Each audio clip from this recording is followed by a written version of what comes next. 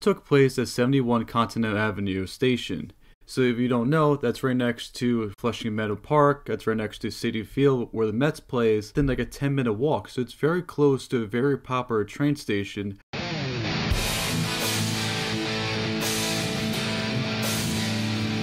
So not every day you see something like this.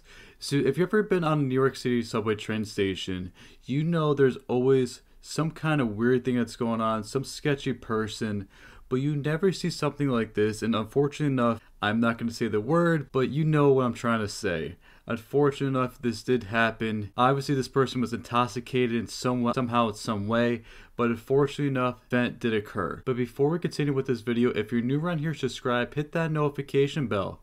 This way you can receive my videos once uploaded. So Notification Squad day is going towards Paul Negrean, Super, Luigi Gaz, and also Cameron Hayes. So if you don't know, the very first three people, comment down below, you get that instant shout out in my upcoming video. So if I was you, I'll hit that notification bell get that easy shot on my channel. So you're probably asking yourself, what happened? So at every New York City subway train station, you have to pay the fare, which is very simple. If you pay the fare, you're able to cross.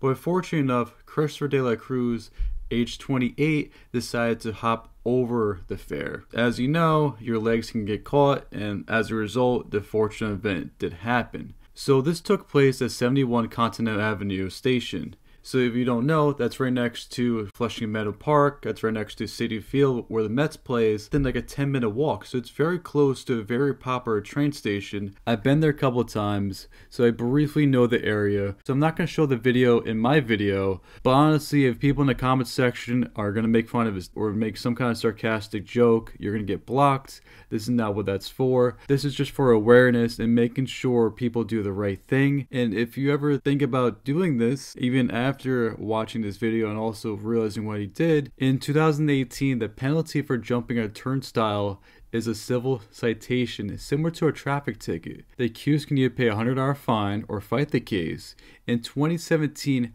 33,000 turnstile jumpers in Manhattan. Also, 8,000 people got arrested. So you want to take your chances, just pay that $3 fee or whatever it is, and definitely have somebody with you when you ride the subway train station, just in case if you're under the influence or something else occurs or someone's like very sketchy, you have someone there with you. So if you're new around here, subscribe, hit that notification bell. This way you can receive my videos once uploaded. You can always follow me at Twitter, the Brett Burnz, and also Instagram, Brett.Burnz. And I'll see you guys in the next one. Peace, guys. Thank you. Bye.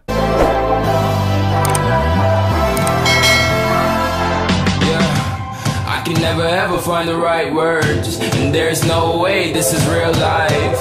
There's no telling you're the right girl. So I can only say that it feels right. It feels right, it feels right. Yeah, I can only say that it feels right. It feels right, it feels right. Yeah, I can only say that it feels right